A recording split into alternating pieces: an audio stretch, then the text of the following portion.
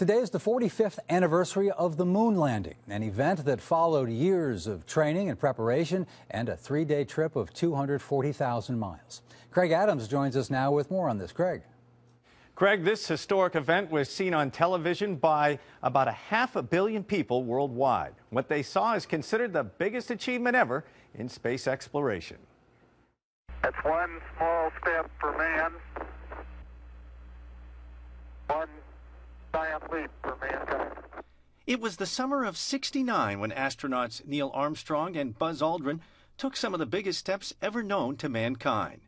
Today, more than four decades ago, we look back on what made it happen at the time that it did. The Cold War was the perfect storm because the country could marshal the enormous resources necessary to push the space pro program forward very quickly. Armstrong is on the moon. Neil Armstrong, 38-year-old American, standing on the surface of the moon. It was an exciting time as folks from all over the country and the entire world for that matter were glued to TV sets watching it happen. Fast forward to today, and it appears that time has taken its toll. Do you remember what year we landed on the moon? No, I don't. July 20th, 1969. Does it ring a bell? Kent State? Can you tell me what year we landed on the moon? um, I'm just guessing. I think it was 66. You're close. Okay. Do you remember what year we landed on the moon? You know what? you know what year we landed on the moon? No.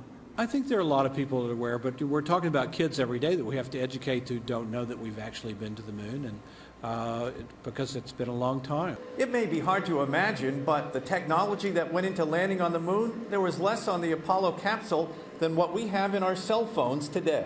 Beautiful, very smooth, very quiet ride.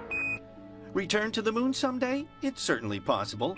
And perhaps if we do, a whole new generation will get to marvel over how we went to the moon. Now, interestingly enough, to go back to the moon now, it would take several years to build the rockets and the lunar landing vehicles, and of course, not to mention all the various planning and program structure that would need to be implemented to make it all happen again. It's amazing how many people it does take to make that project work. And it's hard to imagine it's been 45 years. Yeah, it's been a while. My memory of it is being in the living room. My mother was ironing clothes, and that image was on television. Well, I remember my parents uh, grabbing me as a very young child, saying, "Come on in here, you got to see this. This yeah. is going to be something you'll always remember." And we're glad they did that yeah. Yeah. Thanks, Greg. We'll see you later on.